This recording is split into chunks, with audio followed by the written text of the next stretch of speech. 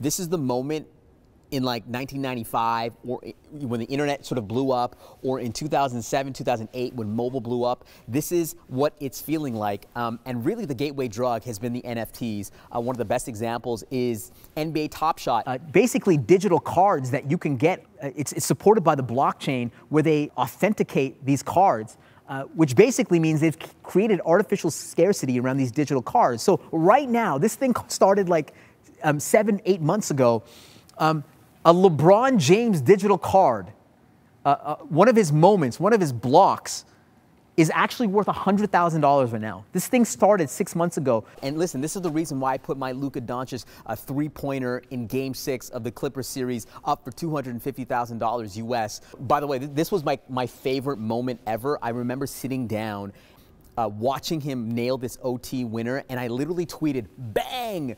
To me, this is one of the best moments on NBA Top Shot right now. And I love the NFT market because what they have really done is they are building scarcity with these digital cards.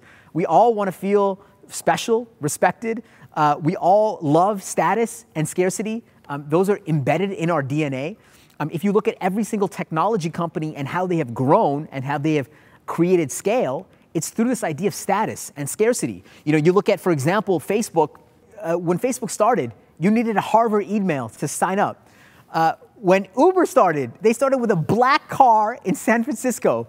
If you look at one of the hottest uh, social apps right now, Clubhouse, it is still invite only. If you look at TikTok, they created this inequality with their creators. You know, some creators, they become behemoths. So this idea of creating status is, is so key to creating growth, especially for these tech companies.